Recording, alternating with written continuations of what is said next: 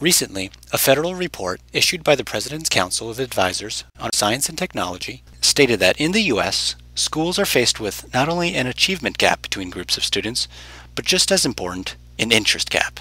Research has shown that many American students gravitate away from science and math careers toward other professions. In fact, the President's Council found that this interest gap was prominent even among students who are highly competent in math and science. At Project Tesla, we are interested in learning how innovative technologies and problem-based math lessons can be used to motivate students to do well in math classes and to spark a long-term interest in pursuing math and science careers.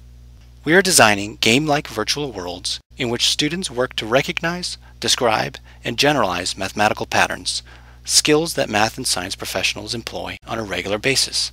By engaging students in an authentic virtual context before a classroom-based lesson, we hope that students participating in Tesla will see the value of mathematics as well as develop the sense of confidence needed to pursue these types of careers.